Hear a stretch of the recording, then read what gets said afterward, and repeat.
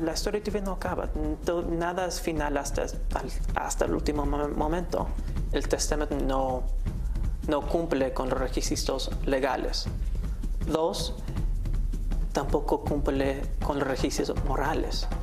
Hace unos días, el supuesto hijo biológico de Juan Gabriel, Joao Aguilera, aseguró frente a nuestras cámaras que la lucha por impugnar el testamento del cantante continúa, por lo que volvimos a entrevistar a Guillermo Pous, el albacea del Divo de Juárez y representante legal de Iván Aguilera Salas, el heredero universal, quien nos dio contundentes declaraciones.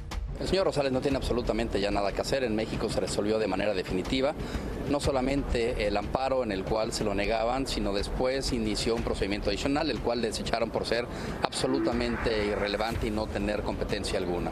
Por su parte, en Estados Unidos también se desestimó el asunto a favor de Iván, así que tampoco tiene absolutamente ninguna alternativa más para impugnar. ¿Y cómo es posible que él insista en que este proceso legal continuará y que no hay un final hasta que no llegue exactamente al final este proceso?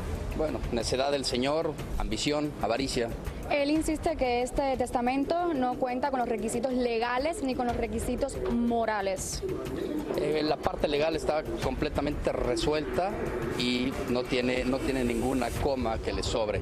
La parte moral, no sé quién es el señor para pretender calificar de moral o no un documento que hizo don Alberto y, a que, y que a él no le compete absolutamente nada porque jamás logró acreditar absolutamente ningún vínculo. ¿Cuál sería el mensaje de usted directamente para el señor Joao? No, yo no tengo que darle ningún mensaje, para eso tendré que contratar a abogados adecuados que le den el mensaje y la asesoría correcta.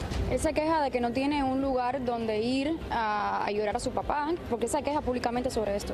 Yo no sé si usted sepa algo que yo no sepa, pero desconozco quién es el papá del señor Rosales. Don Alberto Aguilera Valadez no lo es porque jamás lo acreditó, pero si usted sabe quién es, a lo mejor se lo puede decir para que vaya y le llore a ese señor. Es lo que, es lo que él dice, él insiste de que su papá es Juan Gabriel, que hay fotos de él con su mamá desde pequeño, que sí pasaron muchos momentos juntos, e insiste que es su papá. Yo tengo fotos con don Alberto y no era mi padre. De esta manera, Niurka Marcos desató tremenda controversia al reafirmar en Suelta la Sopa que ella ha sido la mejor intérprete del musical Aventurera, a pesar de que muchos consideran que la mejor intérprete